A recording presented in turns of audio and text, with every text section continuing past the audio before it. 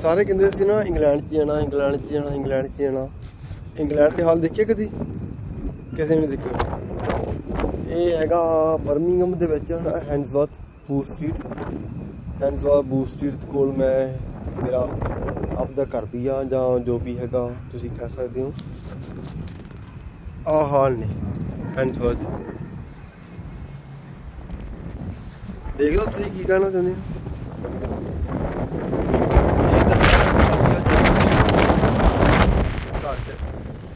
ਹੈਂਡਸਵਰ ਚ ਰਹਿਣਾ ਚਾਹੁੰਦੀ ਆ ਤਾਂ ਦੇਖ ਲਓ।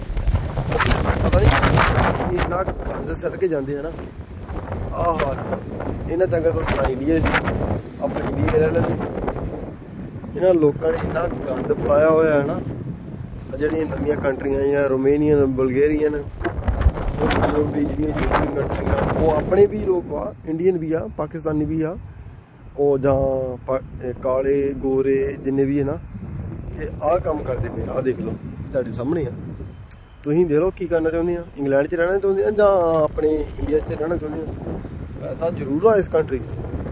ਠੀਕ ਆ ਮਰ ਪੈਸਾ ਹੈਗਾ।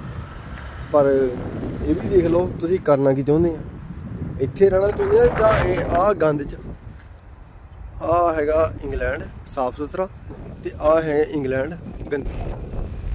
ਇੱਥੇ ਆਪਣੇ ਇੰਡੀਆ ਵਿੱਚ ਕਹਿ ਦਿੰਦੇ ਆ ਕਿ ਰੇਸਿਸ ਉਹ ਹਿੰਦੂ ਦਾ ਉਹ ਇਹ ਆ ਉਹ ਆ। ਇੱਥੇ ਸਾਡੇ ਗੋਰੇ ਇਹ ਕੰਮ ਕਰਦੇ ਪਏ ਆ। ਇਹ ਰੇਸਿਸ ਪਣਾ ਕਰਦੇ ਪਏ ਆ ਇਸ ਕੰਟਰੀ 'ਚ ਵੀ। ਉਹ ਕਹਿੰਦੇ ਆ ਕਿ ਜੇ ਜਿੱਥੇ ਗੋਰੇ ਆ, ਉੱਥੇ ਸਾਫ਼ ਸੁਥਰਾ ਰੱਖਣਾ ਸੀ। ਉਹ ਜਿੱਥੇ ਆਪਣੇ ਲੋਕੀ ਇਦਾਂ ਦੇ ਚਵਲ ਰੋਕ ਮੇਰੇ ਵਰਗੇ ਰਹਿੰਦੇ ਆ। ਮੇਰੇ ਵਰਗੇ ਚਵਲ ਲੋਕ ਹਨਾ? ਤੇ ਉਹ ਇੱਥੇ ਰੱਖਣਾ ਚਾਹੁੰਦੇ ਆ। ਇਦਾਂ ਦਾ ਕੰਦ ਆ ਕੰਦ ਰੱਖਣਾ ਚਾਹੁੰਦੇ ਆ। ਠੀਕ ਆ? ਆ ਹਾਲ ਆ ਲੋਕਾਂ ਦੀ। ਤੁਸੀਂ ਦੇਖ ਕਿੱਦਾਂ ਕਰਨਾ ਚਾਹੁੰਦੇ ਆ ਤੁਸੀਂ ਆਪਣੇ ਹਿਸਾਬ ਨਾਲ ਦੇਖ ਲਿਓ। ਪਰ ਜੇ ਤੁਸੀਂ ਆਉਣਾ ਤਾਂ ਭਾਈ ਸੋਚ ਵਿਚਾਰ ਕੇ ਆਇਓ। ਤੇ ਆ ਗੰਦ ਵਾ। ਇਹ ਸਿਰਫ ਹੈਗੀ ਆ ਪਾਰਕ, ਸਿਕਮੋਰ ਪਾਰਕ। ਤੇ ਆ ਹਾਲ ਨੇ ਲੋਕਾਂ ਦੇ। ਤੇ ਬਾਕੀ ਕੋਈ ਨਹੀਂ, ਤੁਸੀਂ ਦੇਖ ਲਿਓ, ਰੱਬ ਜਾਣਦਾ ਦੁਨੀਆ ਕਿੱਥੇ ਫਿਰਦੀ ਆ।